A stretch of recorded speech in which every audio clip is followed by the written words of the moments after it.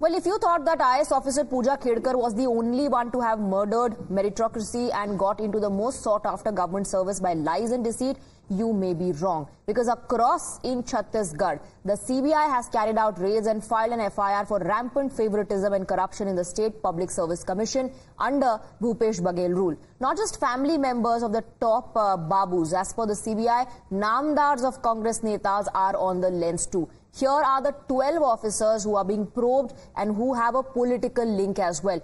Bhumika Katiyar, Swarnim Shukla, Ananya Agarwal, Rajendra Kaushik, and the list goes on and on. They are all children of top Congress leaders. The son-in-law of a Congress neta and the daughter of a former DIG are also on the list. While the BJP says that nepotism of Namdars is out in the open, the Congress denies any Neta Babu nexus. They say it's through merit, not family name. Listen in. चुनाव के दौरान, विधानसभा चुनाव के दौरान प्रधानमंत्री जी भी छत्तीसगढ़ की जनता से वादा किए थे कि छत्तीसगढ़ में भारतीय जनता पार्टी की सरकार बनेगी। तो यहाँ के युवाओं के साथ पीएससी में जो घोटाले हुए हैं तो उसकी सीबीआई द्वारा जाँच होगी और दोषीदार लोगों पर कार्रवाई होगी। सीबीआई अपनी जाँच प्रारंभ कर चुकी है। Are you saying that nobody associated with the party in power or their children should appear in these examinations? If they have merit, they certainly have every right to be selected. But if there is a wrongdoing, you examine their papers. This is what I had said uh, to the media even at that time when this matter had come up.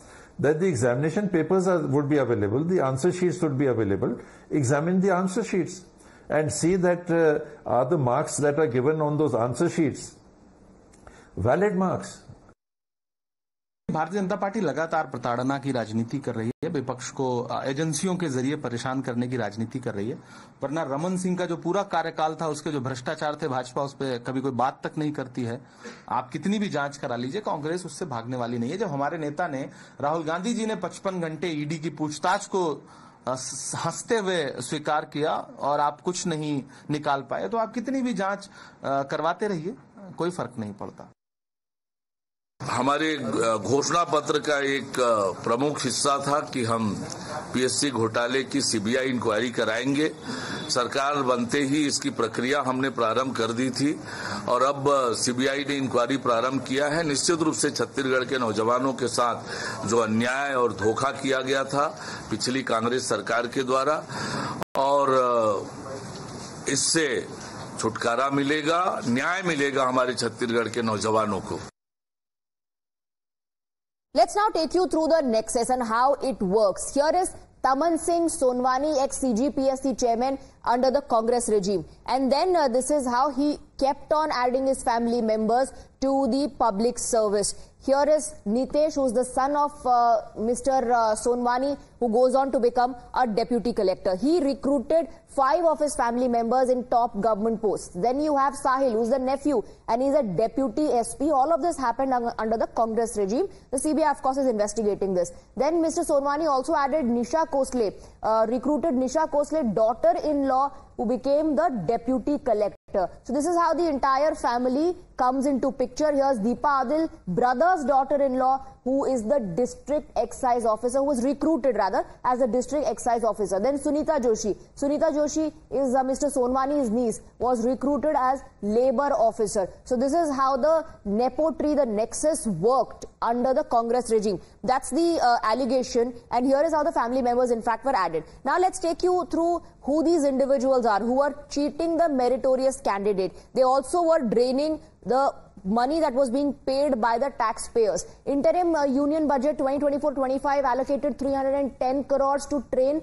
government employees and this is what uh, India was paying for. This is what the taxpayers were paying for. 86.13 crore uh, rupees, 105.31 for training for division and ISTM. This is all the taxpayers' money.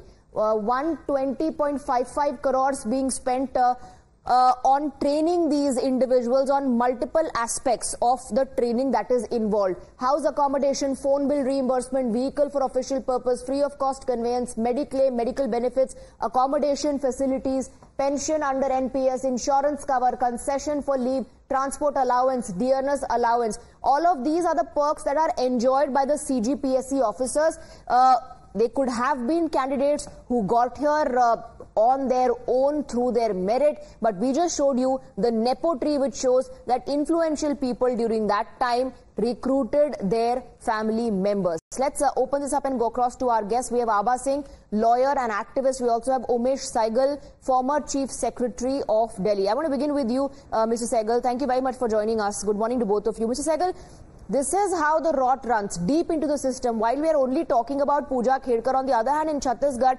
uh, influential people on top posts, top government posts, kept hiring, recruiting their family members. Now, of course, there are political reactions coming in where the Congress says this is merit, this is not politics.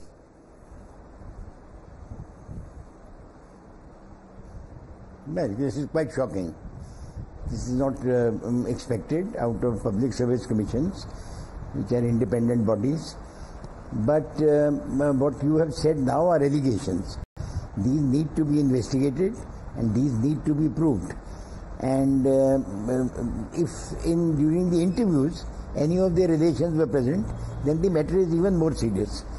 But uh, if in the written papers there is some um, uh, problem, this can always be verified, and this I think should be verified immediately. And uh, if the copybooks have not been retained, this would be even a more serious matter. But uh, merely because uh, one family has so many members in the same service does not prima facie uh, mean that uh, there has been uh, um, uh, some malpractice in this. So it might indicate something, and if an allegation is made, allegation should be made with a sense of responsibility and they should state some other reason also. Not just that it is there from the same family. Because you see you see, see in the case of the judges sometimes the pain the father and son are both uh, become judges. After all sometimes uh, brilliance runs in the families. So that alone is not enough to come to any conclusion there should be a proper investigation by an independent agency. Well, the investigation is currently underway. The CBI has raided premises of former top officials. Abha Singh, uh, Abha Singh, is this does it look suspicious to you? it does look suspicious because all of them have got through in this under the state uh, uh, service public service commission all five have got through chhattisgarh if someone had got selected from uh, Uttar Pradesh, Kerala, Karnataka, one would have said it is merit. But five people does look suspicious and now that CBI is investigating, one needs to look into the answer copies, whether marks were increased or the invigilators were told. So it is, CBI inquiry can only lead us to the truth in Chhattisgarh. But if I come to Pooja Khedkar in Maharashtra, then the medical board which gave these medical certificates, that needs to be investigated.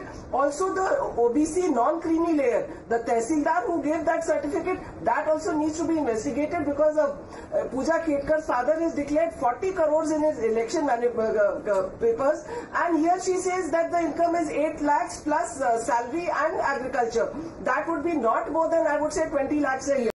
So these, the, this deep malaise, this corruption which has seeped into the recruitment process. We have the NEET exam leak and now UPSC, one looked up with dignity and respect, but the nexus between UPSC and DOPT needs to be looked up because UPSC does not maintain the medical uh, disability quota list once the result is declared. So the CBI needs to inquire UPSC, DOPT also. Hmm. Uh, Mr. Saigal, you know, I know you said that just because, uh, you know, these uh, members belong to one family does not create suspicion, but this is not just, uh, you know, one family. We're talking about more than 170 candidates who are under the lens, and 17, in fact, have been named in the FIR. Uh, larger question, is it that easy to circumvent, manipulate and subvert the system?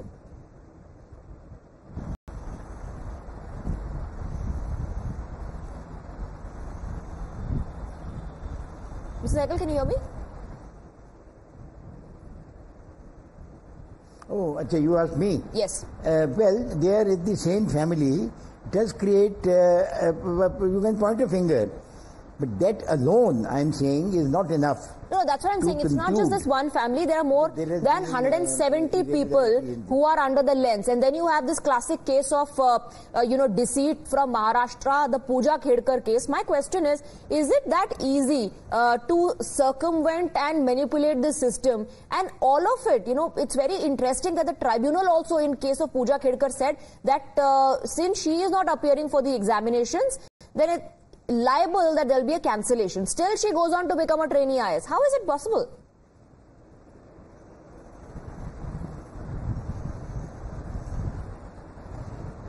No, I, I do not see.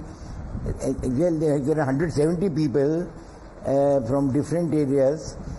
These examination systems are uh, supposed to be perfect.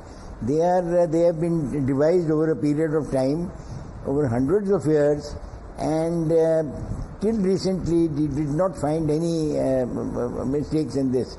Khedikar's case it could be one off. But this one that you point out from Chhattisgarh, Chhattisgarh is of, is of a state public service commission. State public service commissions have been known to be a little more susceptible to political pressures in the past also. So I think this needs to be taken more seriously and it should be immediately investigated by an independent agency, whether it is a CBI or it is a people from outside. And we must come to some conclusion, improve the systems and must ensure that the people get justice.